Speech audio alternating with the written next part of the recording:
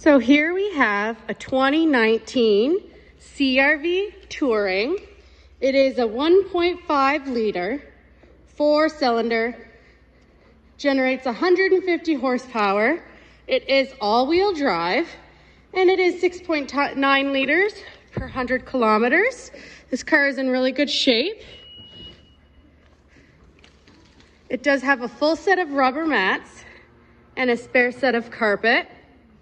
Fold down and ooh, one of the trunk protectors. It is all leather.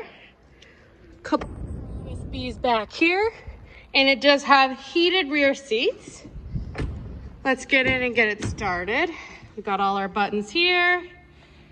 Setting the seats. We do have control to scroll through. Give it a second. Yep.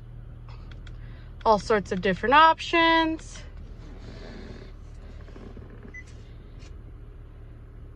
does have tons of different apps. It does have navigation and a rear view camera, heated seats, lots of little storage,